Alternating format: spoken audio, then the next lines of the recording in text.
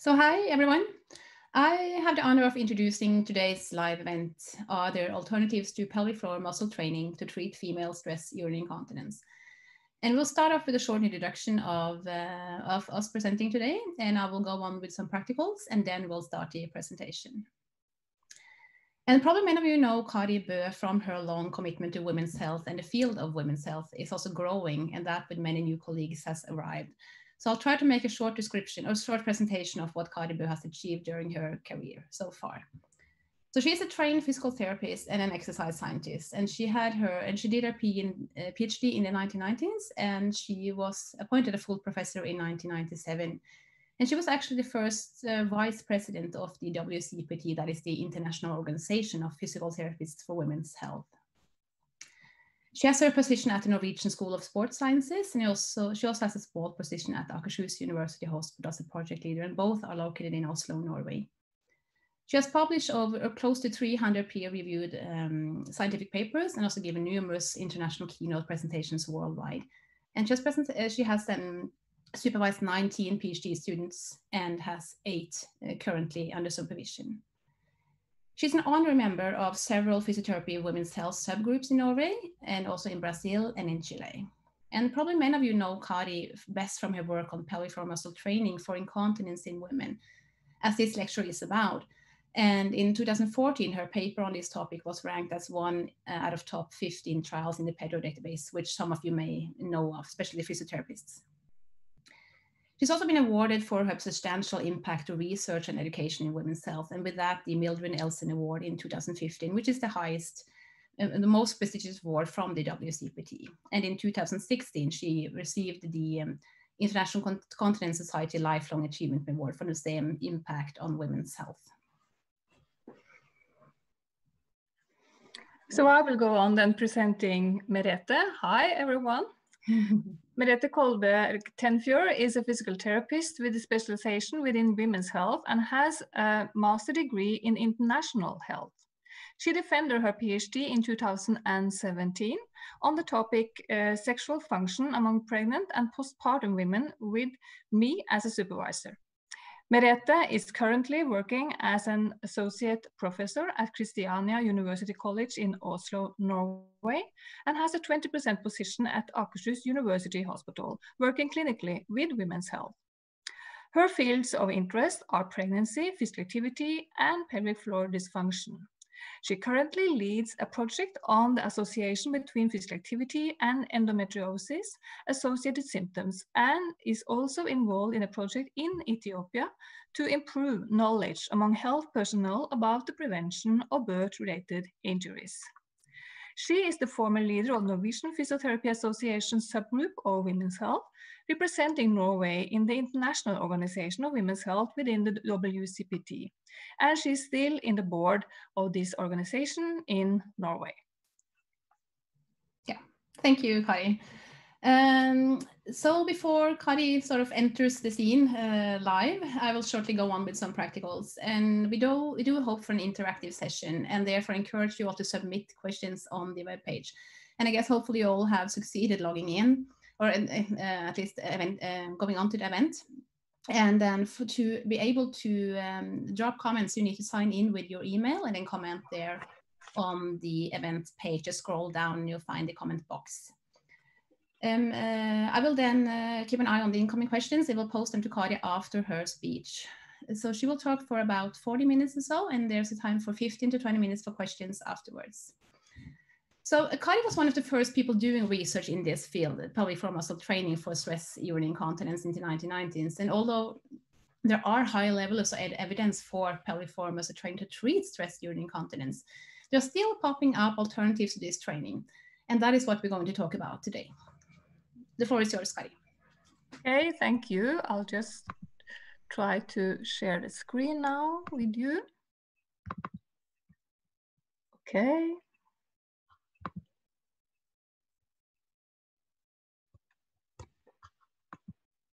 So Here we go. I have chosen a quite controversial topic because I think it's important to debate uh, this and that we can have a good uh, debate uh, and respectful uh, debate on what we are doing in clinical practice and is that really evidence-based.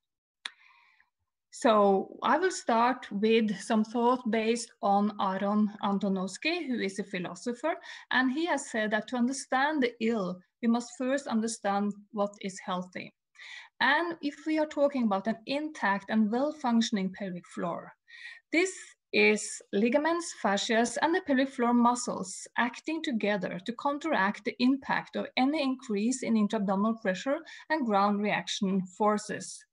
The pelvic organs are kept in place with little downward movements, and there is little or no opening of the levator hiatus area or the urethra during activity. This is an automatic function, and for women, like most of us, I guess, with a well-functioning pelvic floor and no symptoms, there is no need to think about voluntarily contracting the pelvic floor muscles. It's there in place and it is acting. So stress urinary incontinence is complaint of involuntary loss of urine on effort or physical exertion, for uh, example, giving sporting activities, or on sneezing or coughing. Continence relies on maintaining urethral closure pressure at all instances. And this is based on a resting tone and activation of striated and smooth urethral muscles, so within the urethra. The submucosa with prominent vasculature is also important. And there is a big debate actually on the role on estrogen, but some role, I guess it must be. Uh, resting tone and contraction of the pelvic floor muscles in addition to these other factors. And degree of downward movement and opening of the urethra during exercise. So what happens when we are doing a voluntary pelvic floor muscle contraction? There is a constriction of the levator hiatus with the urethra, vagina, and anus, and this was uh, uh, measured 25% on ultrasonography by Brækken and co-workers in 2009.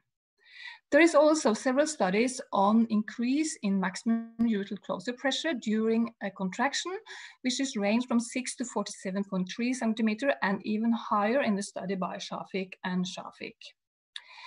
There is a co-contraction of the urethral sphincter muscle when we are contracting the pelvic floor muscles voluntarily. And the muscle length is shortening with, one, with 21%. There is a forward and upward movement of about one centimeter. And this creates a resistance to downward movement. At the same time, when we are contracted the pelvic floor, there is an inhibition of the detrusor contraction. But we're not going to talk about this uh, last point because this is the theoretical framework for doing pelvic muscle training for urgency urinary incontinence and overactive bladder symptoms, but that's not the topic of today. So this understanding was taken into what Miller and co-workers called the Knack in 1998. So they had 27 uh, women with mean age of 68.4 with mild to moderate stress urinary incontinence. They were taught to contract voluntarily the pelvic muscle before and during a cough. And then they were sent home just to do that without any other uh, additional training. And they found that this reduced urine loss from medium to deep cough by an average of 98 and 73%. So a huge difference of doing this. Further on studies in this has shown the effect of the Knack with 64 non-pregnant and 29 pregnant women in this study. They found that in the non-pregnant group, the wetted area decreased from median 43.2 to uh, 6.9. And in the pregnant women, it decreased from 14.8 uh, square centimeter to zero. So it really works in stopping uh, incontinence from occurring. In the latest randomized controlled trial, they uh, had one group randomized to Knack tutorial program, and then the other group had a diet or exercise tutorial. The results after one month of doing this showed a significant improvement of 71% in the Knack group compared to 25% in the diet exercise group.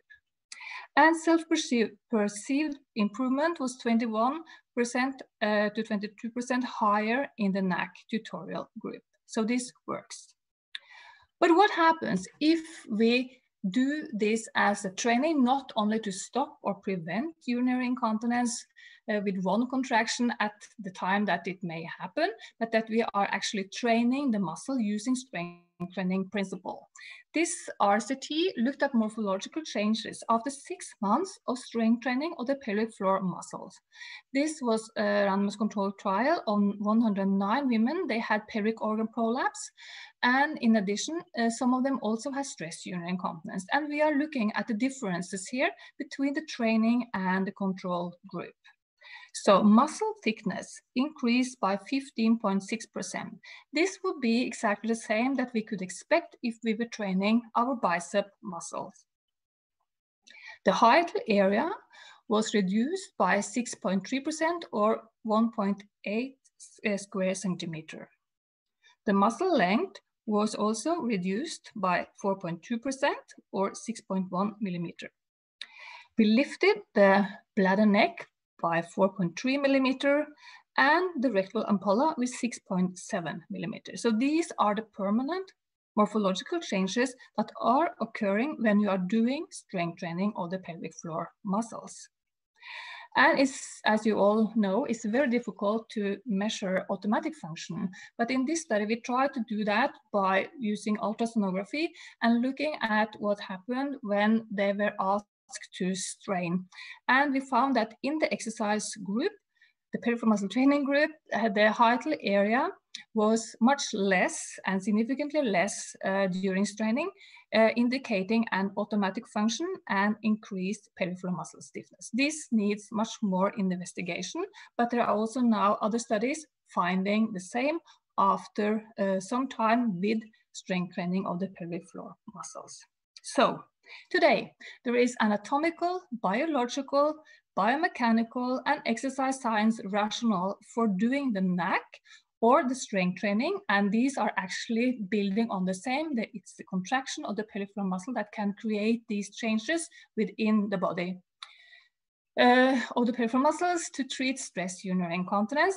And also I would add pelvic organ prolapse, although we are not talking about that today, but there is also now one A level of evidence recommendation for pelvic floor muscle training for that. So we are actually building our principles of pelvic floor muscle training on this model that shows that the pelvic floor here is the water that keeps the organs in place. And this is what we can modify by strength training. And the pelvic floor muscles are the only muscles in position to have this function. There are no other muscles that can do this because it's placed underneath and around the openings. And then looking at the evidence for pelvic floor muscle training versus no or inactive control treatment, this is the Cochrane review from 2018. Uh, this was based on 31 RCTs and quasi-RCTs in 1,817 women from 14 countries with a mixture of stress urinary incontinence, urgency urinary incontinence, and mixed urinary incontinence. And if we look at the results of stress urinary incontinence, women who are doing pelvic floor muscle training are eight times more likely to be cured uh, and six times more likely to be cured or improved. They have better quality of life, fewer urinary incontinence episodes, and less urinary incontinence on pad test. And the effect is better if we look at stress urinary incontinence uh, trials compared to other diagnoses and also with supervised training. So the ICI also through all the years that this organization has existed have always concluded that pelvic floor muscle training should be first line treatment. So everything is good. I could be very happy as a physical therapist to have all this evidence and I should know what I could do because this is really convincing that this, this is what we should do. But I'm asking the question, is clinical physiotherapy practice based on this evidence from high quality RCTs, or are some of us still working on theories, clinical experiences, and statements from practice.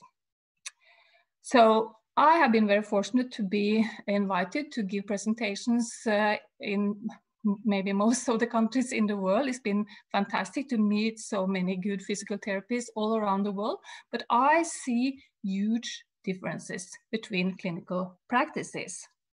And I also hear the same questions coming up from some of the clinicians uh, that why are, what about body posture, breathing pattern, motor control, core training, gait analysis? This is something that we should maybe call the core of physiotherapy. This is what we learn in our basic studies in physiotherapy, that this is important. But is it important for everyone? and for any condition. It seems to me, and I'm a physiotherapist, I know this very well, that this is what we do for everyone. And then also into the pelvic floor area. But uh, in the latest article from Bary Berghmans in 2020, he and he has been an advocate actually himself for these other functions. Uh, he wrote that there is no evidence or level three or four grade C for any of these um, different areas uh, in the uh, floor muscle training um, in interventions. And I think the most important thing for physiotherapists, whether it is research physiotherapist or clinical physiotherapist, that we need to be able to separate between postulates and evidence. Exercise science, in my uh, opinion, uh, has not had a strong uh, setting in uh, the physiotherapy curricula in our basic studies. Motor control has been very, very important and has taken a lot of space in our uh, basic studies, but exercise uh, science has not. And especially, I would say, not strength training. So why are we not focusing on strength training in the basic of physiotherapy? It's very strange because strength training is coming up as so important for so many areas of the body, not only the pelvic floor, but for a lot of different uh, diagnoses and issues. But it's not been a strong part of our curriculum. So I think there has been also this uh, contradiction between clinical practice and research, which is very unfortunate because this, in my opinion, should go hand in hand. But some words about why we can't trust clinical experience as um, a method to, to, to say that something is working or not. Clinical experience is good for making research questions. There's no doubt about it. It's really what I uh, miss most when I'm only doing my research uh, is uh, to work with the patients and to have their experiences that I can use in my understanding of the problems. And it's really important for us as researchers. And fortunately, I'm I have still a lot of contact with patients because they are calling me and they are sending me questions on email. So I don't feel that I'm away and all my research is clinical research. So then I also meet with the patients, but it doesn't tell the truth and cannot answer research questions because it doesn't control for the threats to internal validity. It cannot tell what would be the case without the intervention. And there is a certain confirmation bias and from us because we see what we want to see in clinical practice and the patients they are also eager to please us and they don't want to say well it didn't really work but yes i feel a bit better. We all know that. And in clinical practice, practice there is seldom measurement of outcome. And if there is still this cannot tell the effect size of the intervention and I'm sorry to tell, for those of you who are not doing research, but for us who have done several RCTs, any concept you put into a high quality RCT has less effect than clinical experience. It's due to the fact that we are blinded, we are not interfering with what we are doing. So this is not going to be as good as we think it is in clinical practice. That's been my problem as well, because I remember my first RCT, I was certain that everyone would get better. And it was 60%. The medical doctor said this was fantastic, and I was very disappointed. But this is how it is. Nothing can cure everybody. So what is internal validity? You can see here uh, the pyramid of evidence where we have ideas, opinions, editorials, anecdotal uh, stories um, uh, at the bottom. And then we go up this pyramid and we are now only talking about research for uh, looking at interventions. So the effect of physiotherapy and systematic reviews on the top. And why is this? Oh, sorry. Um, because internal validity means to, to which extent the changes observed are caused by the experiment, the intervention, or physiotherapy, and not by confounding factors.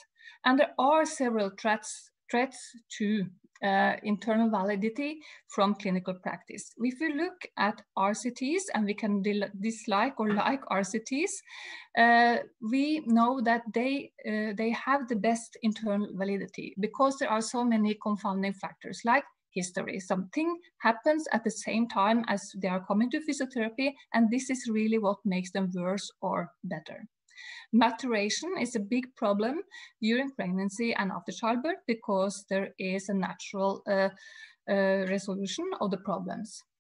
Testing situation is also uh, important because if we test the patients, then they learn from the test itself and it has nothing to do uh, with what they have been doing, but actually the testing is make, making them better after some while. Instrumentation, meaning that we have to have a, a, very good calibration of the instrument that we are using. And this can also change from time to time. So it doesn't really mean that the change we see is due to the intervention. Statistical regression is the most important factor because things are going up and down also when uh, you, even we're talking about stress urinary incontinence it's not always uh, it's not always stable uh, the condition. And it is a tendency in all studies that this will try to get towards the mean. That's just a mathematical thing. So this happens all the time. So that's why we need rcts to look at this and variation and to have a blinded uh, investigator selection biases that we are just picking those who we think can get better and not the, the whole uh, population. Experimental mortality, which is a big problem in uh, anything that they just uh, do not do what they are asked to do and uh, what they are also then uh, dropping out uh, of the, the study or the intervention itself. And then a combination of the two selection and maturation uh, interaction. And of course, not uh, and not least at the end, expectancy. And again, uh, what we think and how we are actually uh, also uh, influencing our patients and put words in their mouth, so to say, that aren't you getting better? Yes, I feel a bit better. So RCTs, that's why we are doing them. It's very hard to do, but they are controlling for most of these factors. So is there evidence for alternative exercises to treat uh, stress urinary incontinence? Um, this, I think, came out for the first time uh, in 2001, 2004, where uh, one of our colleagues in Australia uh, said that abdominal muscle training to rehabilitate the floor muscle may be useful in treating urinary and fecal incontinence. And this was based on a small abstract where they concluded that the findings of this study indicate that exercise of the abdominal muscle may be beneficial in maintaining floor muscle coordination, support, endurance, and strength. It was actually showing that there was some uh, association between the two. So many studies have looked into this afterwards, and we had also a systematic review on this, uh, which did not support this finding. However, we need a randomized control trial to look into new uh, postulates or hypotheses like this. So uh, Chantal Dumoulin came out with this excellent study in 2004. This was a single blind randomized controlled trial, assessor blinded, and it started at least three months postpartum. It was an eight weeks intervention. It was once a week with a physiotherapist and five days a week at home. Uh, the first group had pelvic floor muscle training plus electrical stimulation. The other group had exactly the same plus transverse abdominal training. And then the third group was a control group and they had massage. And this is, was fantastic because it really controlled for uh, the fact that they had a lot of attention. So it was the same attention and a very good attention in the control group.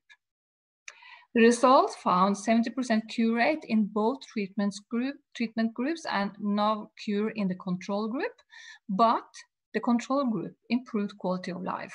And this was disease-specific quality of life. It also tells about the importance of having outcome measures that is not only based on what the patients think, because massage was pro probably very, very good for their quality of life, but it didn't change their incontinence. But the main finding in this study was that there was no additional effect of adding transverse abdominal training to pelvic floor muscle training. Another study looked at the same. This was 68 women with stress urinary incontinence, and they were randomized to 12 weeks of pelvic floor muscle training every day, pelvic floor muscle training three days per week, or pelvic floor muscle training plus abdominal training three days per week. And again, they didn't find any difference in pad test or satisfaction, which was their primary outcome. There are also some experimental studies in this area, and this was one of the studies we did when I was in Melbourne in 2000 and uh, was published in 2002. We used suprapubic ultrasonography uh, in 20 physiotherapists from Australia. And the results show that also one of these physiotherapists who were expecting to be doing this correctly was not uh, having a correct contraction of the floor muscle because there was a downward movement when she was trying to contract the floor muscles. Six of these 20 physiotherapists, that's 30%, had a downward movement when they were doing, do, uh, doing a transverse abdominal contraction. And when we measured the lift uh, with ultrasonography, uh, the floor muscle uh, contraction uh, caused 11.2 millimeter lift, transverse abdominal 4.3, and then add pelvic muscle contraction to transverse, it was raised again to 8.5, but not as high as with pelvic muscle contraction alone. In another study at our university hospital, 13 women with stage 1 to 3 pelvic organ prolapse was assessed by POPQ, and mean age in this group was 46.5 years, and parity was 2.6. BMI was the normal range. They had instruction of a correct transverse abdominal contraction, and this was verified by palpation and ultrasonography. We used 4D perineal ultrasound in this study and looked at area of levator hiatus, transverse and anterior posterior dimensions, muscle length. The results show that uh, pelvic floor muscle contraction uh, leaded to uh, a constriction of the levator hiatus of 24%, while transverse abdominis was 9.5%, and this was a significant difference in favor of pelvic floor muscle contraction. The muscle length, we found the same. It was much higher in pelvic floor muscle contraction compared to transverse abdominal contraction. And all women had constriction during pelvic floor muscle contraction, but two women opened up during transverse abdominal contraction. And this is what we don't want when we are doing uh, pelvic floor muscle training or trying to restore function of the pelvic floor muscles. So I also include in this talk the Paula method. I know that this is not uh, commonly used throughout the world, but I was uh, um, presented for this uh, uh, intervention uh, when I was visiting Israel some years ago, and it's been used in the Middle East. The theory for the Paula method is that if you act, uh, activate distant sphincters, it also affects other muscles. So contracting around your mouth or closing your eyes should then lead to contraction of the pelvic floor muscles. This was a single blind randomized controlled trial with 59 women with stress urinary incontinence or mixed urinary incontinence. The Paula method had individual 45 minutes weekly, including pelvic floor muscle training, and then daily 15 to 45 minutes at home for 12 weeks.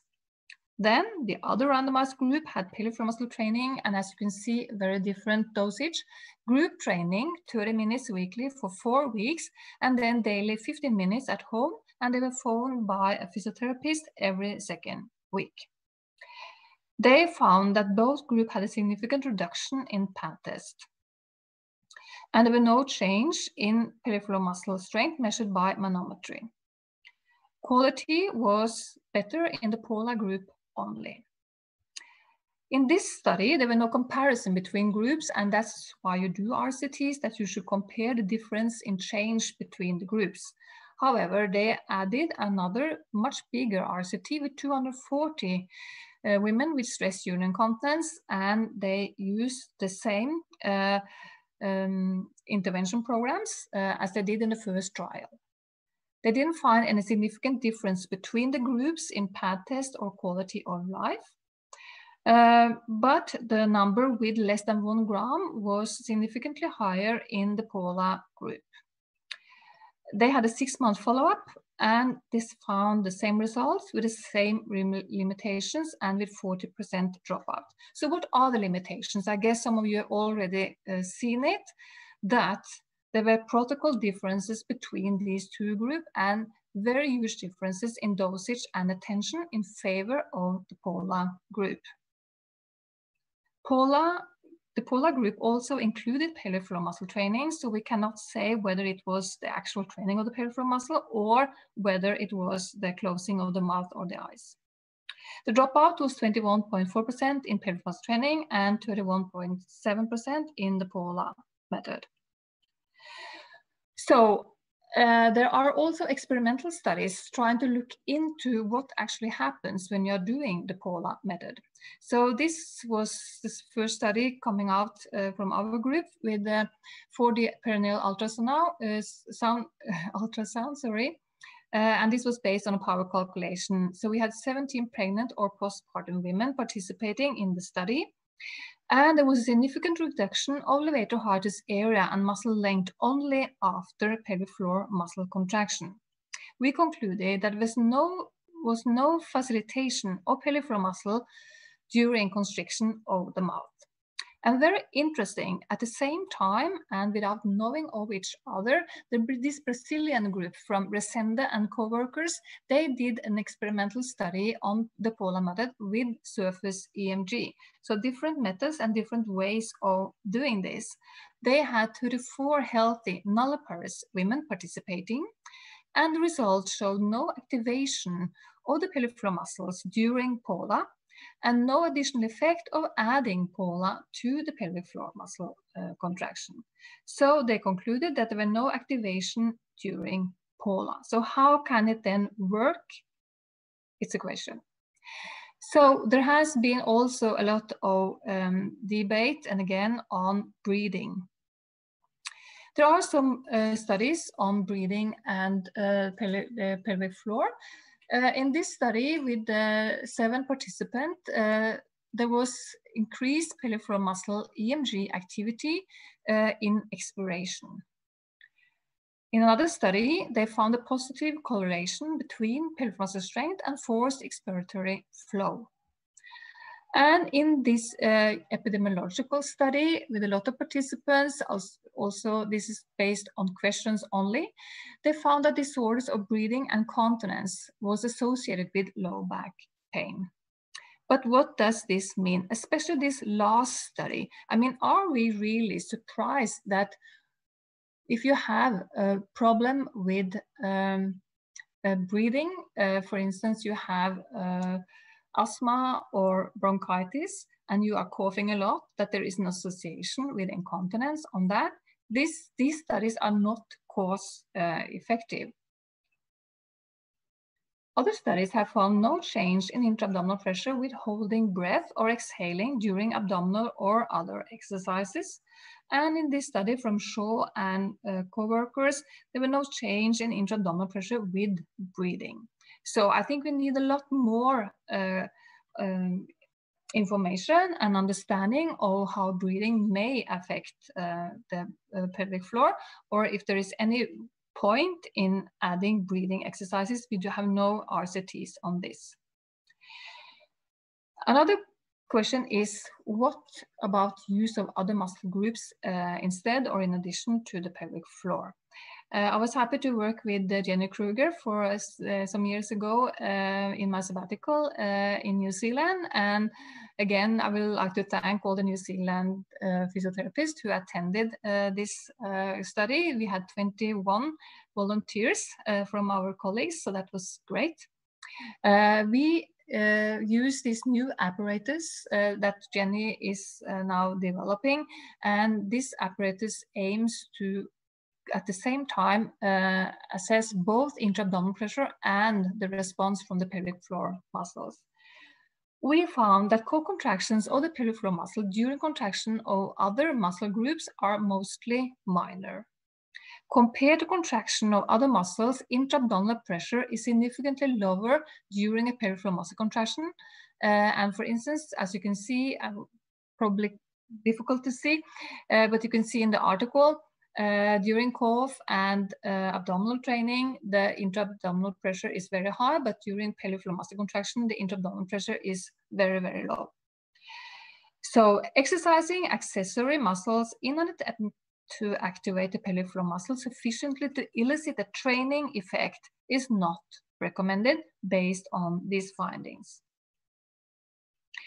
This study uh, on external and internal hip rotators was an RCT with 27 women with stress urinary incontinence, and they were randomized to six weeks of home training plus, plus phone uh, and two visits with a physiotherapist. One group had external and internal rotator training, uh, hip rotator, and the other group had pelvic muscle training. They didn't find any differences between the groups.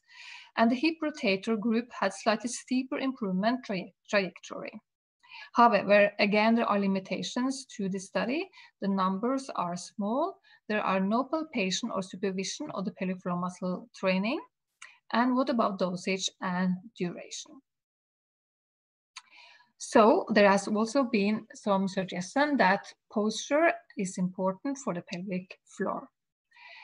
Uh, this is one statement, poor posture can lead to the dysfunction of the pelvic floor.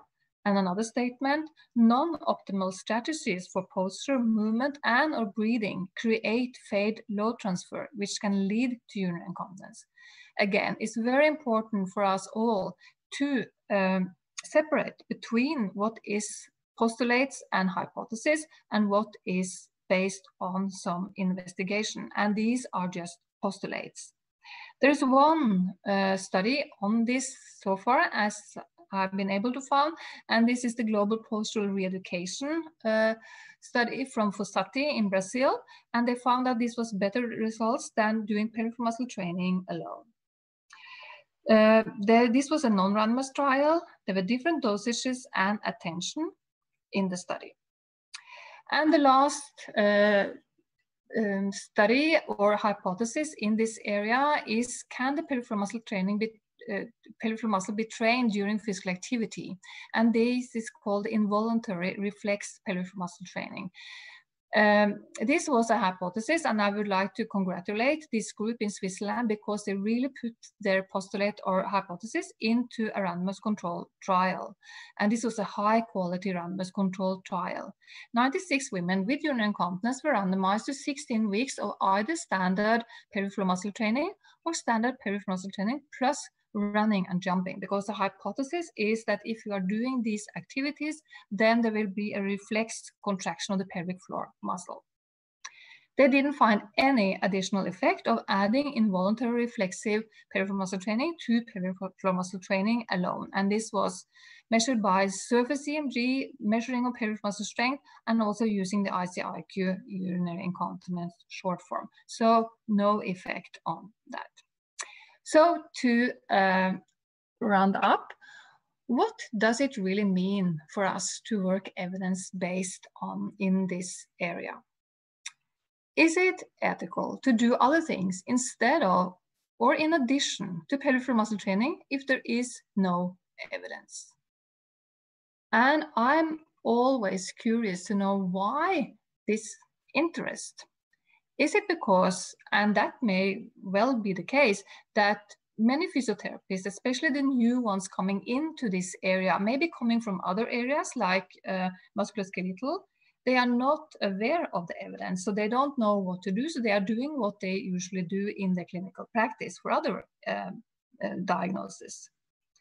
There is obviously an English language problem because the evidence is written in English.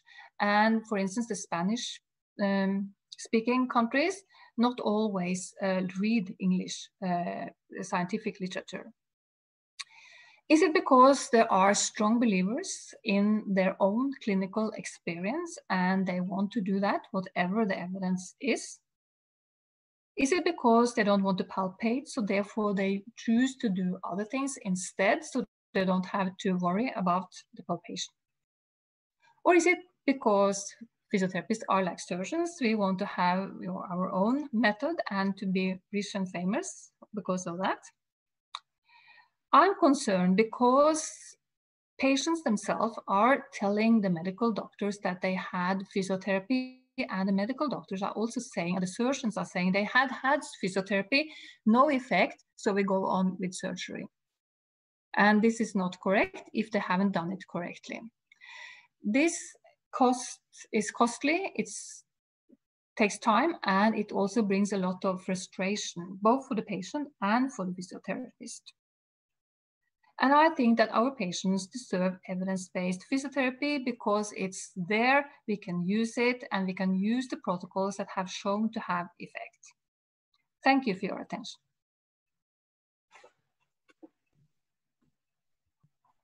Thank you, Kari, for a really nice uh, talk, an interesting talk. It's always a pleasure to listen to you and your knowledge.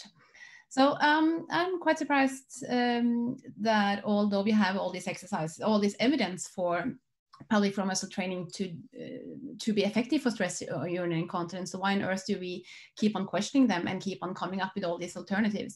And you do mention you do mention your last slide some reasons for it, but could it also be that uh, the physios or the all health personnel becomes sort of impatient for for their patients? that the patients think it's boring. It's um, yeah. Uh, do we sort of need to spice it up a bit? Do we need to name it differently? Uh, all these new exercises are much more sexy than pelvic floor muscle training. so, is there any? Do you have any comments on that? Well, I I, first of all, I think we should stop saying ourselves that it's boring because I know, are you thinking that training your biceps is very sexy or very interesting or not boring. I mean, every exercises can be boring.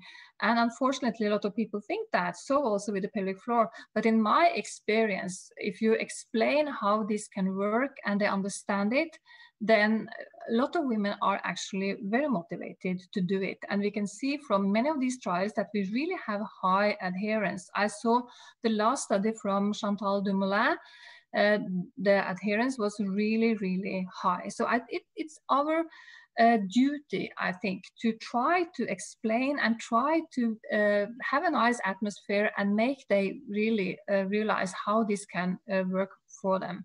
And we know that a lot of women are not exercising uh, other muscles or, or, or are doing what is recommended. I mean, what we want is that everyone should do at least 30 minutes of exercise every day and less than 30% of the world's population are doing that. So this is a common thing, but I first of all, we must stop saying that this is more boring than doing other things. It's more difficult because some women have injuries to the perineum, to the perineal muscles, to the floor muscles. So that's why it can be very hard to do it. But I I don't buy the thing that it has to be more sexy or something else. I think, I mean, everything can be boring if we look at it as boring. I agree. Uh, I have we got one question uh, uh, from the US that uh, what is the minimum length of doing these exercises? And um, I guess the protocols you have been studying and also the protocols which have been following up at the hospital where our projects has been is that the length of the interval or the length of the study has been four months. And I guess that is the length of the protocol which has been studied uh, with effect. And, uh, and the follow-up question was that if the women stop doing the exercises, how long does the efficacy of the training last? These are very, yeah, these are very good questions that I really wish to be able to answer, but unfortunately we don't have a very, uh, we don't have very good evidence uh, for that.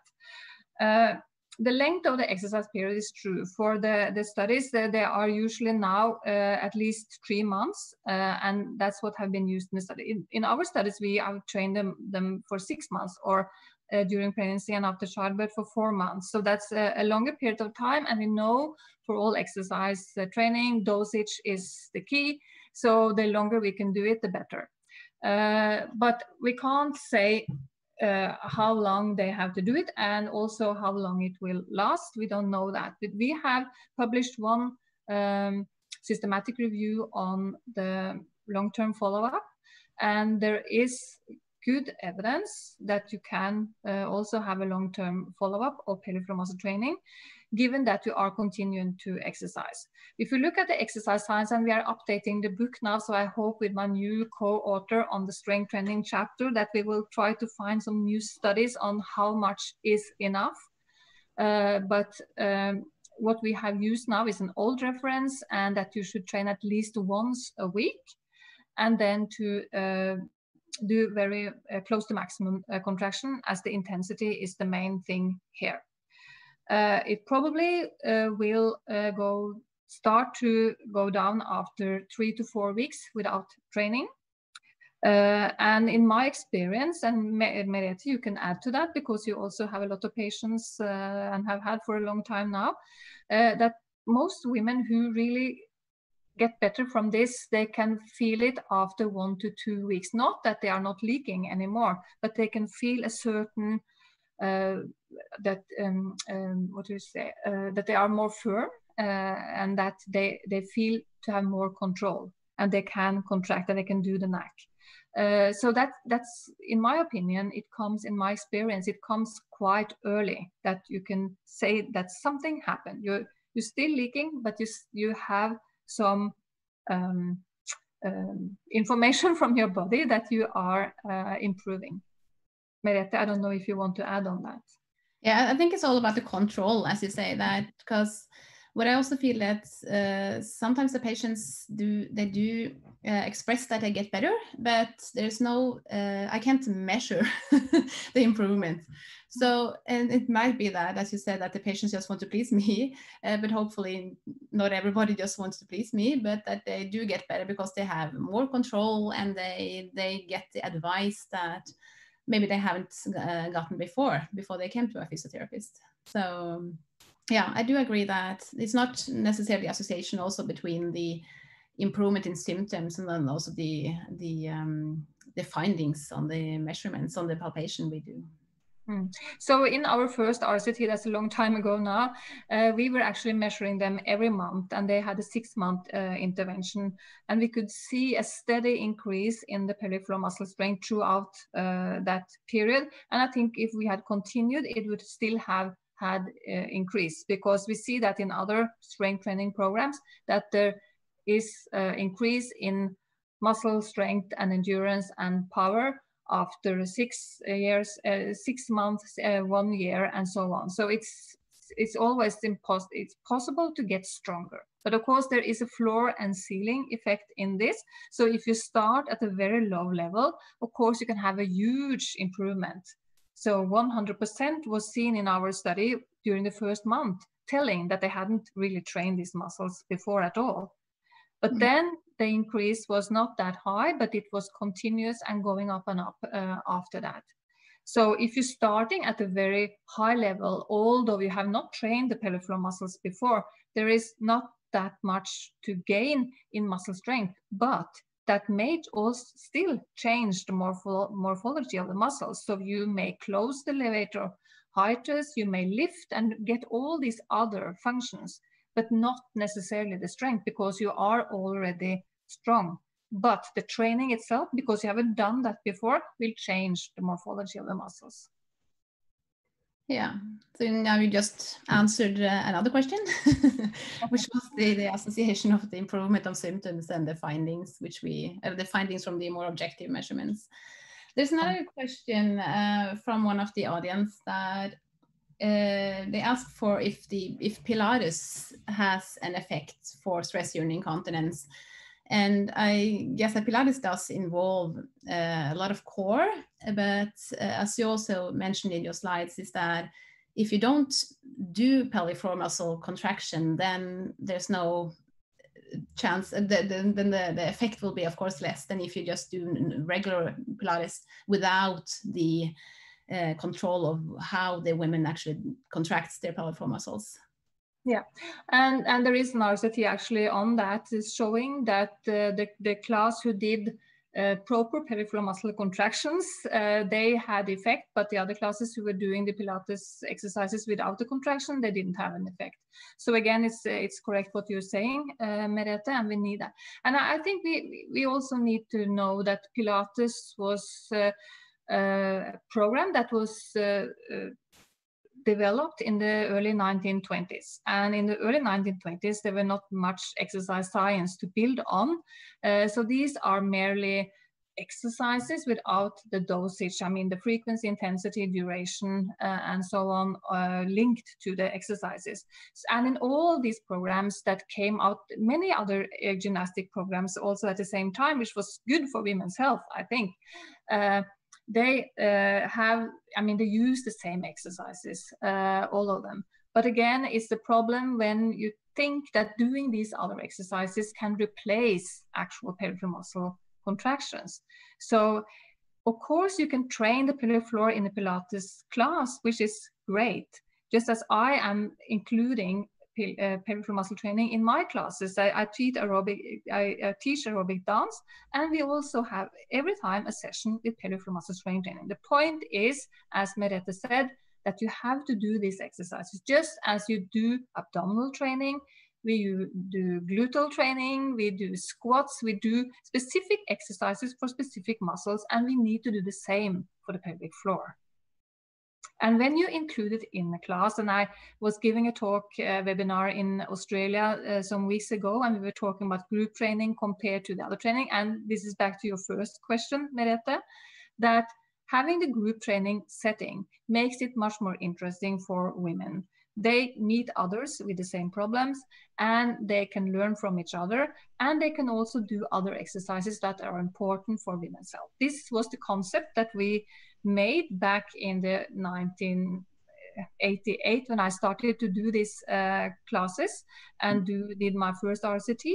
So it was trying to get it more interesting and uh, well, that women would feel that they were also doing other exercises. The, the other exercises has nothing to do with the pelvic floor, but they are there to have a break in the pelvic floor muscle training, and it's also a, a good thing that they are also getting stronger in other muscles. Yeah. But uh, one thing is that, because now you've been talking about all those that actually can contract the muscles, but there are some women that they can't contract the muscles, even though how hard we try, and those that uh, eventually manage to contract after we have rehearsed several times.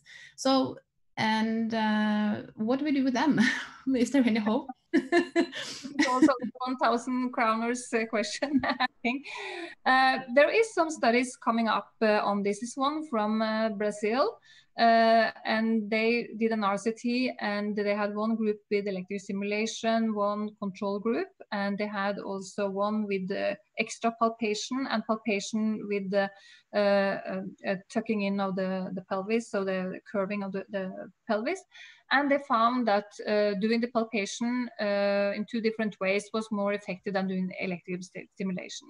They also do the same now in an, have done the same in a new RCT and uh, it's about uh, to come into manuscript now uh, using electrical stimulation. And they found that it may be helpful in some patients. So that's that's an option, but it doesn't work in everyone. It's hard, and and sometimes I think, although we don't like it, but as physiotherapists, we must also accept that what we are doing is not going to help everyone. Yeah. Unfortunately, yeah. No, no, continue.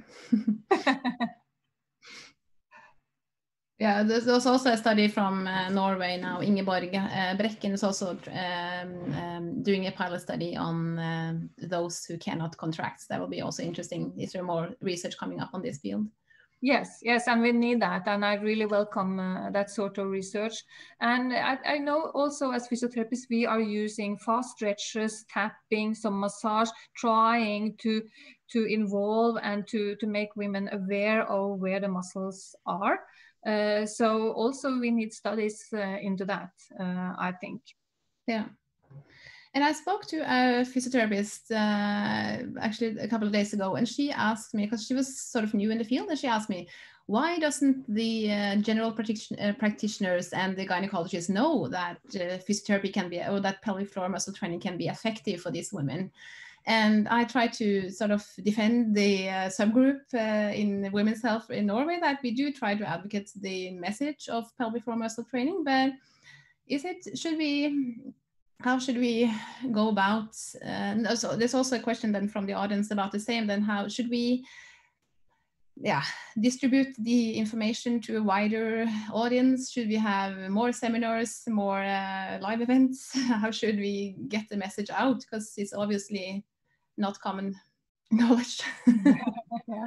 it's an everlasting challenge I, I think because it, I, I sometimes i think oh i've been talking about this for so many years so everyone must know it. But we forget that there are new doctors new nurses new midwives new physiotherapists coming out and they need to have this knowledge. So it's a constant thing that we should all work together to try to get this out. And that's why organizations like the ics and IUGA and uh, the European uh, Association of Urology, the American, all these places are important that we are sending in abstracts at, that we are presenting.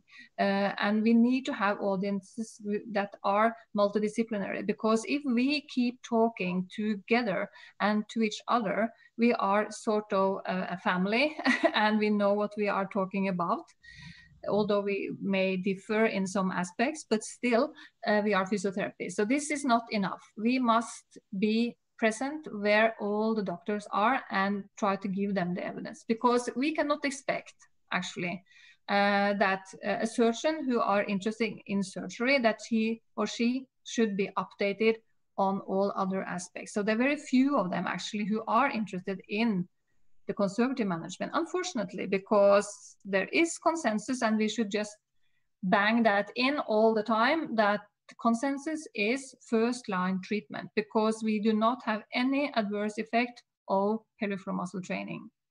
It's the best way to start because it doesn't really change anything afterwards so they can have surgery if it fails but it should never be surgery first because we know now that both for prolapse surgery and for stress urinary incontinence, there may be devastating problems and uh, complications afterwards. So again, uh, in a way, it should not be allowed to do surgery first. Mm. And also that many women now do they enter training of fitness centers. Uh, they go to personal trainers, or at least they will continue doing that when it opens up. Yeah. And uh, um, the personal trainers, well, some doesn't have the maybe the knowledge of pelvic floor muscle training, and, and many women does in maybe the age group where they can actually have the problems come to see the fitness centers. So, mm-hmm. how do we sort of um, educate the personal trainers uh, so that can that they actually does say the word pelvic floor muscles out loud and just not focusing on the core and hoping that uh, the pelvic floor muscles will be uh, trained by the by the same way. Again, I think we all need to work together because I tried this now for 30 years to try to get the fitness industry interested in pelvic muscle training and it hasn't been very successful so uh, it's i mean I've been doing it throughout Europe uh, using the core uh, wellness uh, DVD and instructed many of them uh, in the fitness center. Again, it's the same problem. It's a young generation, usually being fitness instructors. They usually stop at an age and they, they don't teach anymore. So it's an ongoing thing. Uh, we at our university, we are uh, teaching personal trainers. We try to get it into their curricula as well but it's very hard because they're not used to think about this. But some of them are interested and i think it's it's possible. There is an it's a study from england showing and this was a questionnaire and they the the um, instructors said that they were interested if they were taught how to do the training. So um, again i need help. I need you all to try to do this. Uh, in your countries, in your uh, specific sport clubs in the place you live, try to uh, encourage uh, also to do this. Uh, this has another side, of course, because we have already said that it's so many women who are not able to contract the pelvic floor uh, just by uh, telling them to do it. But on the other hand, if 30% are not able to contract, maybe 70% will understand how it is if you explain it in the proper way. And I don't think that the fact that some are not able to contract should stop us from teaching it in a general setting like that. I always do this in my classes. And I also have a sort of an openness saying that if anyone has a problem, they I can they can talk to me and I can try to get them to a, a, a physiotherapist who can help them. So just to have this openness and talk about it and have brochures, have model, have DVDs or uh, apps that you could uh, rely on and tell them that this is the way to do it. But if they need more help, they're not able to contract, they don't, under, they don't um, really realize if they are able or not able to contract, then they should go to a trained physiotherapist to get some real help. There is some studies also from Belgium, from uh, Vermandel and uh, Neels group, showing that uh, many women, uh, I, think it was 8%, thought that uh, contracting their um, hip um, muscles was floor muscle training. And also some of them uh, thought that straining was the correct contraction. So proper instruction and knowledge is very, very important in this area. Yeah.